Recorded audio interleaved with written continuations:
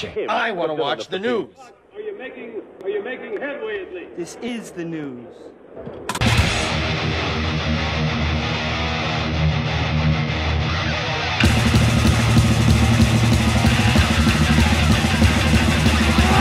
Schmack Macabre, it's time for the only news that matters.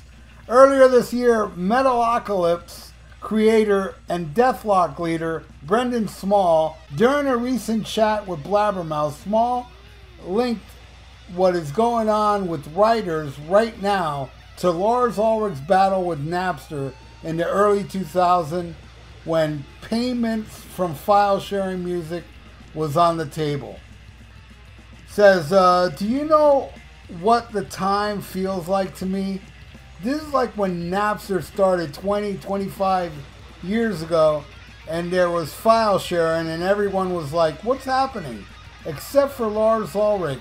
When the interviewers brought up that Ulrich had printed out the names of Napster users who have downloaded the band's unreleased single, I Disappear at the time, Smalls responded, he was correct. Back in August, Smalls also credited Ulrich's Napster battle to what's going on with the Hollywood writers in an interview with Full Metal Jackie. At the time, he said, I think people need to come to the table and meet. I do think that there are big conversations that need to be had about streaming rights, residuals, AI. Very big questions. I hate that in this kind of conversation that I think the music industry should have had it in the early 2000s when Napster and file sharing were happening. Lars already tried to have a conversation. He tried to start it, but I think it's kind of like we should nip it in the butt now so that we can move on and be creative together. And I think that's the kind of what I think is an important thing to say in solidarity with all people striking. I'll say this I agree with the writers and the guild, I agree with the actors. I started on network TV on UPN with Home Movies, my first show.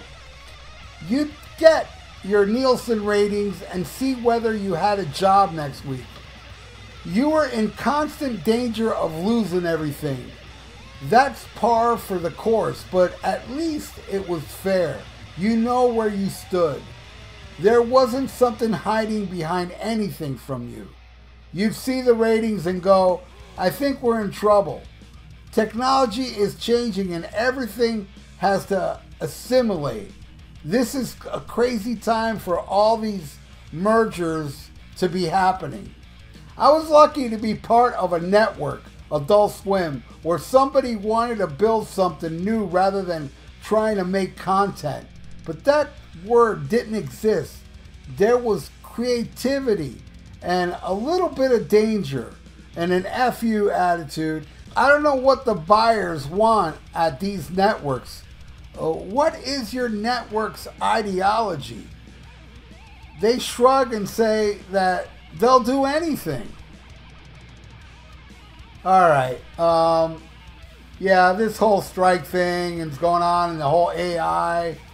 It is a strange time we're living in. It kind of makes me feel like we're at the last years of realness. You know, it's like uh, everything's going to be so manipulated by AI that you're not going to know what's what. So, yeah, they're uh, you know, it's like if like it's like Terminator warned us about this. And yeah, Lars, I I even back in the Napster days, I thought, why is everybody attacking Lars?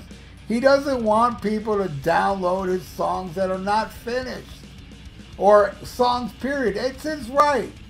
You know, I don't care. I wasn't buying Metallica albums by then, you know, but some people were, and, uh, you know, he was pissed off that they let out a song that wasn't finished yet, and then everybody made Lars the bad guy. But you know what, man? I still stand by it, and I say Lars was right 100%. That's why the music industry is no longer here, because you know, Lars didn't have his way, you know, but hey, that's the way it is actually. I my co-host on the Rock and Metal Combat podcast, Ian Wadley, told me that uh, there was this thing that happened many, many years ago where they invented something like a car can run so many miles per gallon that it was like it the the gas stations, the oil industry were going to lose billions if they were going to release this technology with these cars that hardly hardly use gas that these big companies paid millions and millions or maybe billions of dollars to keep that out of the market. And the music industry should have done that back in the Napster days, or before Napster, really, when the, invention of MP3, music industry should have thrown a couple billion dollars and said, outlaw this, don't make this possible. That people would still be buying music today. But with the streaming now, and it's like nobody's buying any more uh, physical media, and it's just hurting everything. It's hurting the music industry. It's hurting Hollywood, even though Hollywood needs a hurting. And uh, yeah, it's just a sad thing, it all boils down to people are not paying for music. They're illegally downloading it, or they're getting it off some streaming service that doesn't pay the artist anything and it's just a shame, you know. I know I'm in the minority. I'm out there buying stuff, but I am the minority. But I'm going to keep doing it because I support what I love. And bands deserve money. They're definitely going to get my money.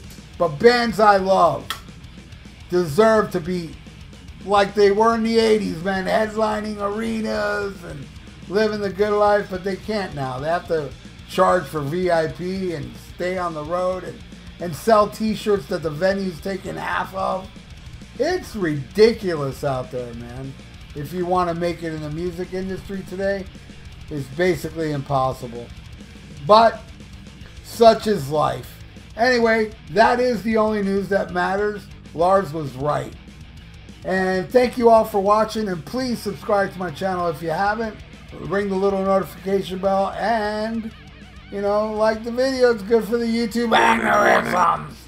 So stay frosty. Listen to Black Sabbath. Lars was right. And smack 'em a gob. Farewell and adieu to you fair Spanish ladies. Farewell and adieu, you ladies of Spain. For we've received orders for to sail back to Boston and so nevermore shall we see you again. Before we get canceled, check out the Rock and Metal Combat Podcast with me and Wadzilla. We are the Podcast Kings. Link to the podcast is in the description below, and also a link to the YouTube page. Check out older episodes with visuals. And very soon, either Ian and I will learn how to go on YouTube Live. Might be soon. So check out the greatest podcast ever according to science.com. It's also God's favorite podcast and Satan's favorite podcast as well. So check out the Rock and Metal Combat Podcast before we get canceled.